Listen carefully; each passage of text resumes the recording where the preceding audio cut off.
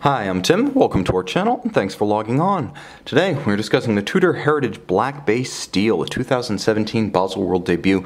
You can see this steel bezel, steel case, steel rivet-style bracelet, Tudor Black Bay with date and purchase it on our website. Subscribe to our YouTube channel if you enjoy these videos, and please click on the card in the upper right hand corner of the screen at any time during this video to see our full sales listing for this watch with additional accessories included in the sale, high resolution images for your desktop, and naturally complete pricing details for this Tudor Black Bay steel. The watch on my wrist may represent the most contemporary of the Black Bays and perhaps the best value among them. This is a timepiece with a full steel bezel, minimally calibrated,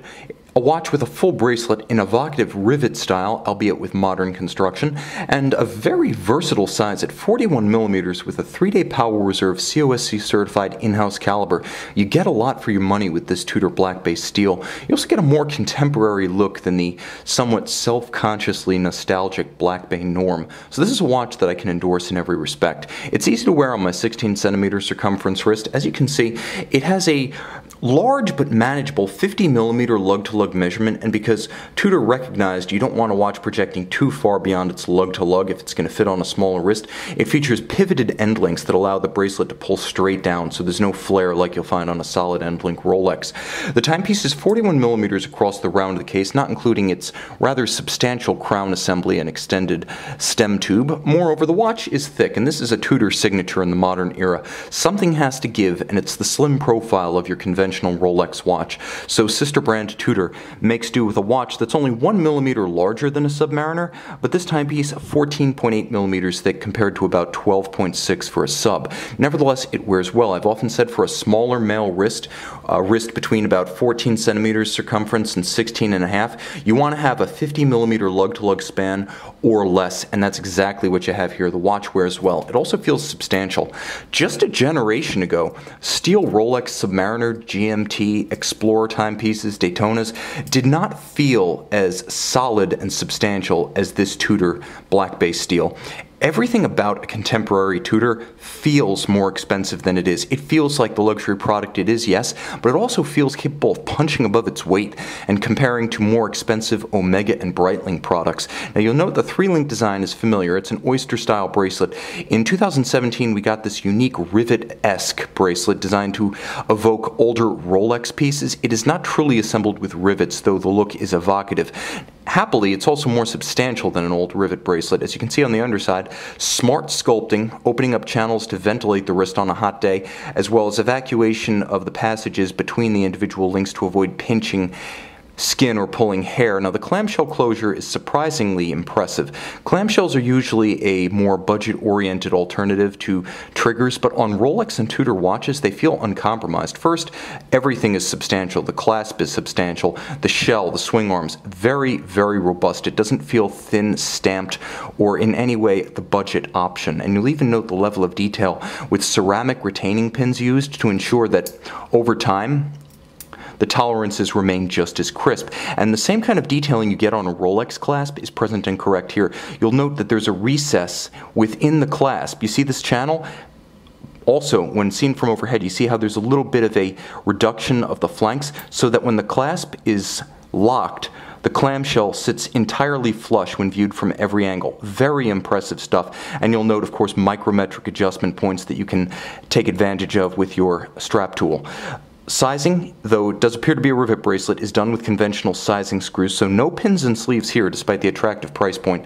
Let's give ourselves a bit more aperture, lighten up the view, improve the focus, and get a little closer. Okay, now the case. All of high polish with the exception of the satin finished lug hoods and bezel. The watch certainly gets attention. It looks larger than it is, and due to the thickness and the sheer heft, it also feels considerably larger than it is. Nevertheless, it does have a few vintage elements that are charming and nostalgic nostalgic without being cloyingly so. As you can see the polished bevel along the case, yes, mechanically applied, but it's evocative of a grace and a hand-finished charm long disappeared from the Rolex catalog, happily still alive, at least aesthetically, in the Tudor catalog.